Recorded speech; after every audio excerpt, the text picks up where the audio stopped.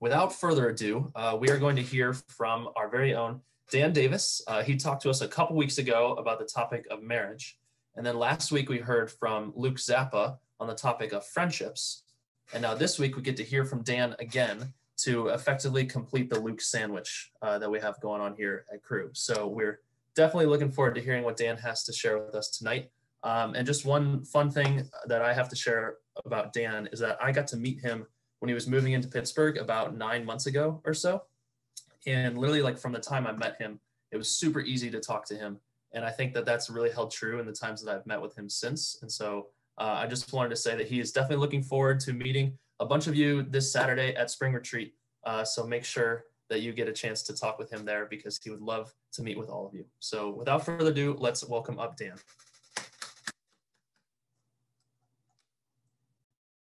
Thanks, guys. I better unmute first before I start talking. Um, yeah, I am super excited for spring retreat and actually see people in in person. Um, it's always funny to see people on Zoom first and then see him in person and be like, wow, he was a lot taller than I thought or shorter. And so it'd be fun to actually see like people uh, in, in real size. So anyway, so there, uh, you guys probably familiar with musician um, Macklemore and Ryan Lewis. Uh, they came out with a song several years ago called Same Love. Um, I didn't know much about it then, but a Facebook friend posted a section of the lyrics on on Facebook, and uh, I just wanted to share an excerpt for, of it. Um, I think they'll put it up on the screen, but it says, uh, "America the brave still fears what we don't know, and God loves all His children is somehow forgotten." But we paraphrase a book written 3,500 years ago. I know Macklemore's song is going after a whole other topic, but that last line is so relevant to tonight's talk. I feel like this is probably the average person's view of the Bible. It's really old, it's not reliable, not relevant, and it's annoying that people try to use it to tell me how to live. So, if you were asked about like why you trust the Bible, what would you say? And so, tonight we're going to talk about the Bible, why it's relevant today, the potential power it has in our lives. And one verse I kind of want to use throughout tonight is Hebrews 4:12, and it reads, "For the word of God is living and active, sharper than a two-edged sword, piercing to the divisions of soul and spirit, of joints and of marrow, and discerning the thoughts and intentions of the heart." So it's one or the other, right? It's either an out-of-date, irrelevant book, or it's true and it's living and it's active and power, powerful in our lives today. So, as followers of Jesus, we believe the Bible is more than just a book. We believe it's revelation, special revelation. So, there's um, so there's only so much that we can ascertain about God from nature in this world, and so it, it was necessary for him to reveal himself in special ways. He didn't have to, but he wanted to. And so God chose to reveal himself to mankind in a relatable way for us, and he did so by the holy book, the Bible. Not only that, um, but God wrote himself into mankind's history. Uh, Tim Keller has an analogy of it's like Shakespeare writing himself into his own play. In a similar way, God came to earth as Jesus, the incarnation, the God man, and he wrote himself into, into our story. And so the Bible is just not revealing propositional truths or rules about God that we need to kind of agree with, but he's revealing uh, the offer of a relationship with a very personal God. Well, why would we believe this? You know, because the Bible is really old. But luckily for you and for me, the more time goes on, um, the more evidence we have to believe that the scriptures are reliable. So now I'm, I'm gonna tonight I'm gonna go through and focus on a few evidences um, of many that pertain mainly to the Gospels. You know, in the Gospels, which are the four stories of uh, Jesus. Um, I want to focus on that because a lot rides on Jesus because if what Jesus did is true, that alone should call us to a response. And it really puts the rest of scripture to be very um, credible. So I want to jump into the first thing I want to share with you guys that persuades me to think that the Bible is reliable is the manuscript evidence um, that we have. And I want to use a uh, specific example of uh, that being John Rylands papyrus. So before I get into some of the manuscript evidence, um, I want to mention that in the year 1611, the first English Bible was produced. It was the King James Bible. And at that time, they had seven Greek manuscripts. And so Greek is the original language of the New Testament. And of those seven copies they used to make the King James Bible, the oldest ones dated back to the 11th century. Now, the New Testament was written in the first century. So there was a gap of 10 centuries between those copies and the originals. But since then, we now have what scholars call an embarrassment of riches. We have, I think it's over 5,800 Greek manuscripts, with some dating back to just decades from the originals. Not to mention some of those Greek manuscripts, but we have found lots of other manuscripts in other languages, like Aramaic, which was the language Jesus spoke, or Coptic, or Arabic, Old Georgian, Latin, etc. And it's amazing with all like the increase in volume and the increase of age of manuscripts that the King James is still a reliable translation. But let's get back to that earliest Greek manuscript, uh, which is John Rylands Papyrus. So I can't quite see it. But if you guys, I think there's a picture that'll come up of the actual fragment of the John Rylands Papyrus. And so this is uh, part of John 18. Uh, John was the the last living eyewitness of Jesus. And of the Gospels, he wrote the Gospel of John last, around 85 to 95 AD. And he did this in Ephesus, which is in modern day Turkey. And so um, this piece of John 18, this papyrus was found, though, in Egypt. And it's dated to be around 100 to 130 AD, the latest 150, but I think most people say between 100 and 130. And so a copy that is just 30 years or just uh, several decades from the original writing is kind of unbelievable with what we, we kind of came from. And it's even possible that this papyrus is a copy from the original manuscript, which would be kind of crazy. Now, this is a very small fragment because it's so old, but on the average, Greek manuscripts um, average around 450 pages, so that we just do have a wealth, wealth of uh, New Testament information. Now, some verses on this papyrus is uh, verses 37 and 38, and they're about Jesus on trial before Pontius Pilate. And Pilate is asking if he is a king, and Jesus says, quote, you are right in saying I'm a king. In fact, for this reason I was born, and for this I came into the world, to, fe- to testify to the truth. Everyone on the side of truth listens to me. And so it's awesome that even though this is a small fragment, it contains such a key element in the gospel with Jesus on trial, claiming to be a king in front of the historical figure of Pilate. And, and so even too, for this papyrus to, to make it to Egypt, it had to be copied and sent from Asia, from Turkey, within just 30 years or less. And so this really doesn't leave that much room for errors or legends to grow.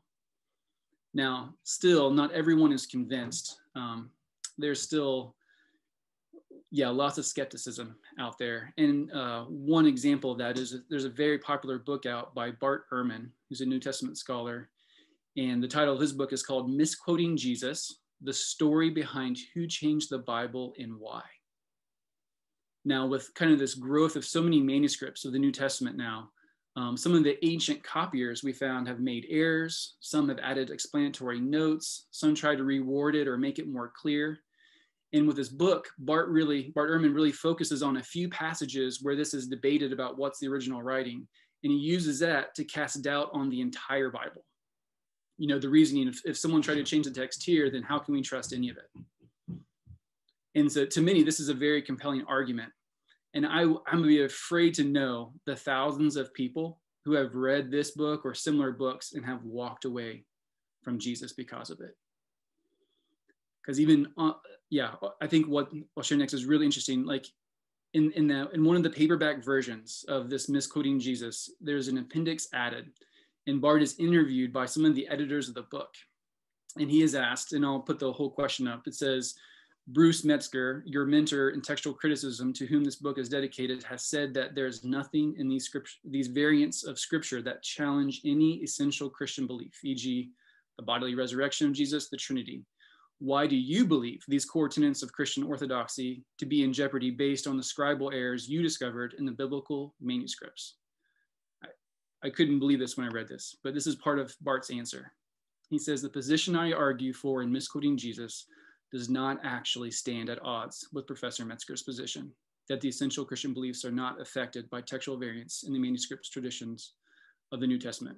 What he means by that, I think, is that even if one or two passages that are used to argue for a belief have different textual reading, they are still there are still other passages that could be used to argue for that same belief. For the most part, I think that's true. Men and women, that is absolutely true. The most important verses that we use to point to the essentials of our doctrines, the divinity of Christ, the bodily resurrection, are rock solid and they read exactly the same all the way back. The second thing I want to share is um, this very per- persuasive for me is the lives of the disciples themselves portrayed in the Gospels before and after the crucifixion. The 12 disciples lived and did ministry with Jesus for three years. They watched him do miracles, learned his teachings, and Jesus tells them that his ministry will end with his death. But Peter and the 12 vow to remain loyal no matter what. Now, when Jesus gets arrested, he's, you know, we see the confusion what the disciples actually do. In Mark 14, I mean, it briefly says in verse 50, and they all left him and fled. And in 51, it goes on to say that a young man followed him with nothing but a linen cloth about his body, and they seized him, but he left the linen cloth and ran away naked. Every disciple ran away and hid. Peter denies Jesus three times. And so let's be honest, it wasn't their best day. But let's remember that these are the ones who wrote the story we now call scripture. They themselves admit to this cowardly behavior. And yet, three days later, they claim to have seen the risen Lord. At that moment, something changes with the disciples. All of them, except John, die as martyrs because they refuse to say it's not true. Now, I know people from many faiths might be willing to die for what they believe, but only these guys are eyewitnesses and they know if it's true or not. They knew and they acted like this. I'm going to share another passage in Acts 4. This is Peter and John before the Jewish Jewish council on trial, kind of like Jesus. Their lives are on the line. And uh, this is what it says in 18 it says, So they called the apostles back in and commanded them never again to speak or teach in the name of Jesus. But Peter and John replied, Do you think God wants us to obey you rather than him? We cannot stop telling about everything we have seen and heard. One day they are running from their lives, and this day they're ready and willing to lay their lives down. Psychologically, nothing but seeing the risen Lord could change all 12 men. We move on to the third thing that persuades me the Bible's rela- uh, reliable is that I think the details found in the Gospels that tie it to a specific location in a specific time period. I think one interesting one interesting detail are names. So names in most cultures um, become popular for a while and then they kind of fade away. Um, on the staff team I was a part of at Northwestern University, there was nine women on the staff team. Five of the nine were all named Emily we never used their first name. We just called them by their last name, Gerst, Lanning, Shand. I don't know if I could even, yeah, still call them probably just by their last names. Now, in first century Israel, it was being occupied by Rome and they dreamed of freedom from their oppressors. And along that line of thinking, the most popular names in their time were names that came from a family that were the last Jewish rulers of the last independent Israel. So these names were patriotic and they were rebellious.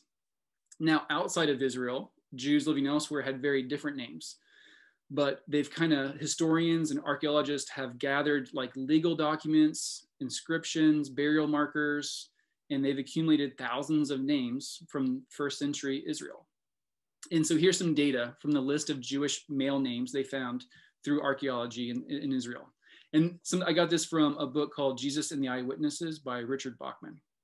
So the first um, I guess, table, the first half, is names found in archaeological records of first century Israel. So just what they found, um, kind of lying around. 15% of men bore one of the two most popular names, Simon and Joseph.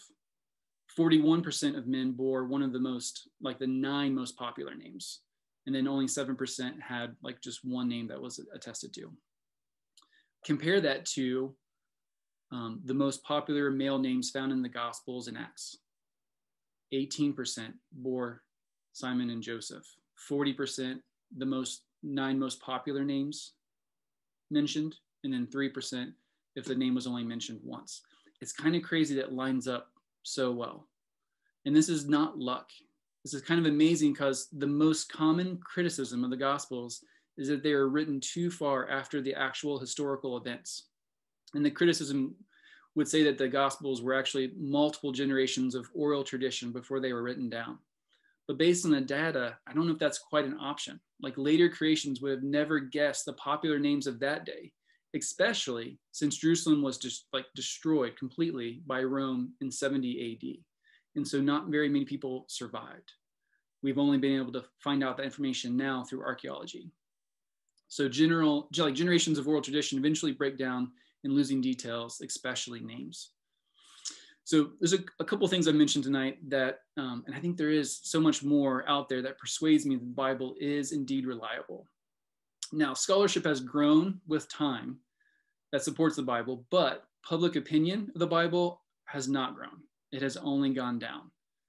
Thinking back to Macklemore's lyrics, his low view of the Bible probably demonstrates so many others' view as well.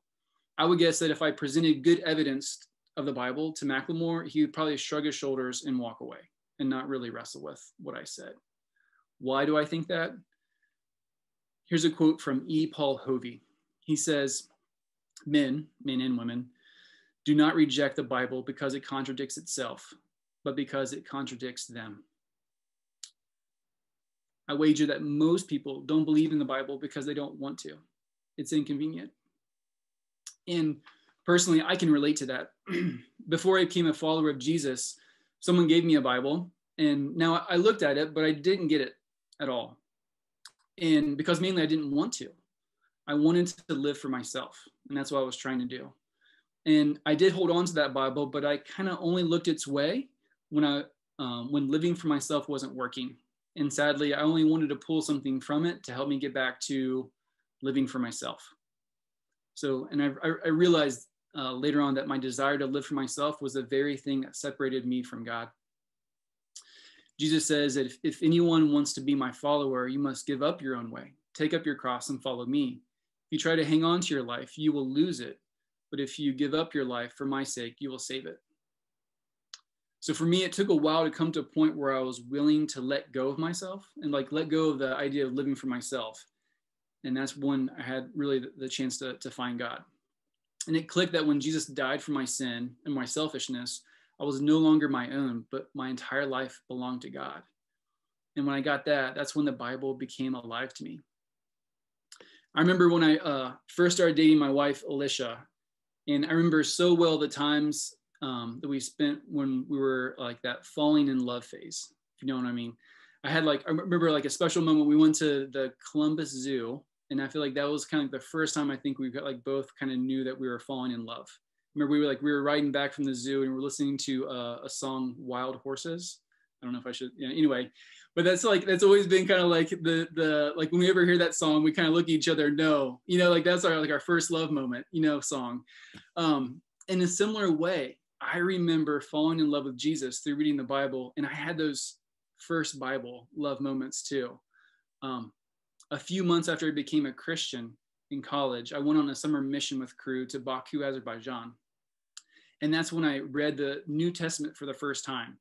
Uh, the apartment we stayed in constantly lost electricity at night. And so we would go to a nearby hotel in the area and we would read. We would go, um, I mean, I had so many memories of being on the top floor of the hotel, overlooking the city, and God was blowing my mind away by how awesome He was and I was just reading the Bible. But the words were jumping off the page, um, and it felt like it was speaking directly to me, showing me things about myself and about Him. And it was so real. Those first love memories. Do you, do you have those? Um, do you remember the world making sense because God was speaking to you through His Word?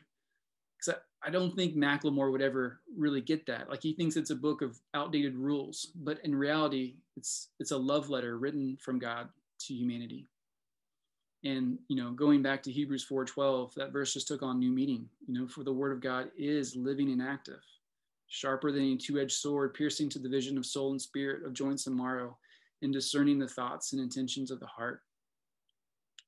If you're a follower of jesus um, the bible is your lifeline.